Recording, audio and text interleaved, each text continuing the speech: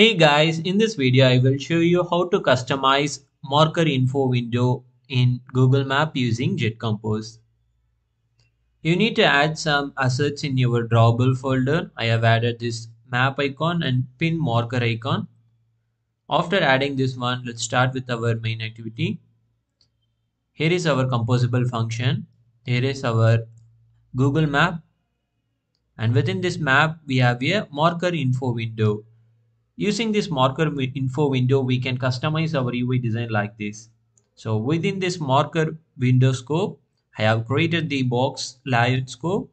In this scope, I have designing this UI, image, title and sub description. So here is the column scope. I have a image and space. Here we added some space, then followed by title, then again space and followed by some description.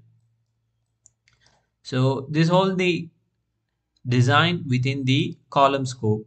So we have created this design and then we just passing this design to our marker info window.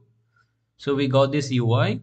So all we need to do is you need to create a Google map. Then you have to add marker info window. You need to set this specific location.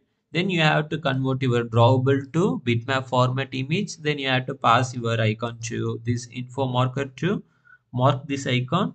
Then if you click this icon it will be display this within this scope function. So this box and column scope will be displayed in this UI see you guys in next video